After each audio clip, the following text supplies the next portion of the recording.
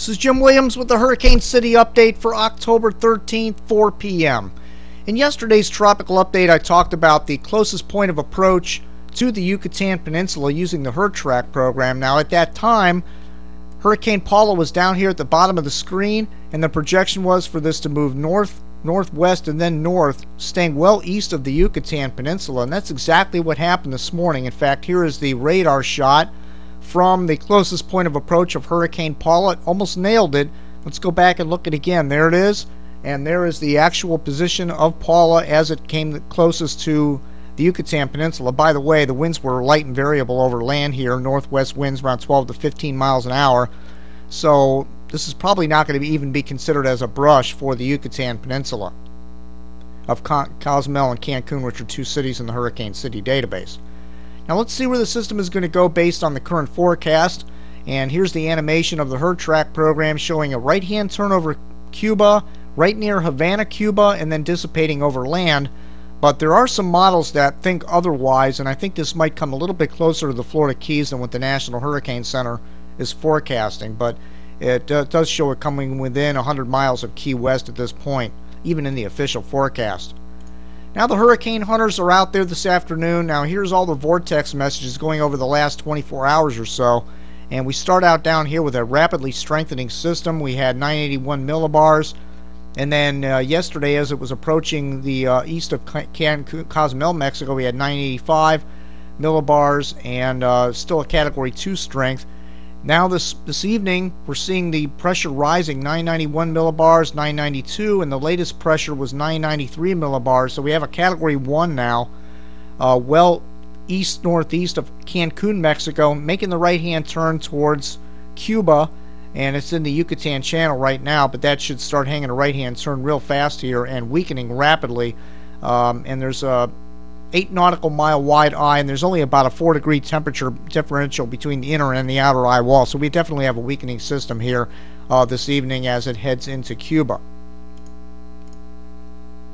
Here's the radar from uh, western Cuba, and this can be found by clicking Havana, Cuba, which is our current feature at Hurricane City, and choose option number one on the radars, and that'll give you the animated radar as this heads into Cuba.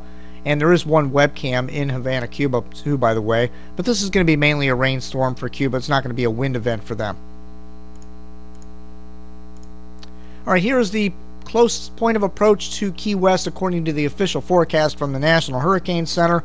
95 nautical miles south-southwest of Key West as it moves toward the east and dissipates over land. But again, that GFDL model has it very close to the Florida Keys, and that's why there's a tropical storm watch out for the Keys. And I believe that may, may turn into a warning overnight because this could come a little bit further north than what they're anticipating. But I do believe it'll weaken down to tropical storm by the time it gets anywhere near the Florida Keys.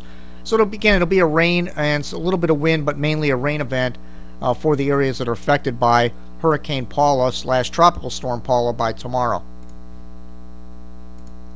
Now here's the best performing model on the system. This is the BAM-D and so far over a five-day forecast the BAM-D has been the best performer uh, off by about 100 miles and um, this has it uh, heading over South Florida but there's two reasons why this probably will not happen. First of all uh, Paul is down here and it's hanging a right hand turn. It's not even going to get this far north in the uh, Florida Straits. Secondly the BAM-D is the beta and advection model, deep model, which is for more intense hurricanes and hurricanes that reach farther up into the atmosphere, and they tend to get pulled more poleward when there's stronger hurricanes, which would take it over South Florida. But this is going to be a weak system, so it more than likely will travel something like this, would be my most likely bet. Uh, north of Havana and right through the Florida Straits is probably the most likely scenario at this time. Now here were the models when this was way down near Nicaragua, Honduras, and this can be found using the best performing, or the model history on Paula, which is right below the hurricane tracking chart at Hurricane City. And you can see here that the best performing model was the GFDL. Look at this, the GFDL model had it right here splitting the uprights between Cuba and the Yucatan, and then heading northeast near Havana and right through the Florida Straits into the Bahamas. And that's almost exactly what's happened to this point. So the GFDL model has done a very good job on this uh, for compared to all the other global models on this system and and the uh, BAM models. It's done the best performer out of all of those. So let's see what the GFDL calls for today. There's the latest map, and again, very close to the Florida Keys as a tropical storm, and then moving into the Bahamas. And in fact, near the central Bahamas, going over Andros Island. The BAM models pretty much take it over South Florida. So Florida could end up getting uh, some decent effects, maybe a few inches of rain, some gusty winds, but overall, this is going to be a weak system as it comes near the Florida Keys. Here's the wind shear analysis going out about 48 hours. This is going into Friday, and by that time, uh, whatever's left of Paula should be over in this area right here in the Bahamas, and it's going to be sheared pretty good as it heads off to the northeast. Uh, but this will not be strengthening by any stretch because of all the wind shear and dry air out uh, in front of Hurricane Paula. let's take a look at the LSU dry air map.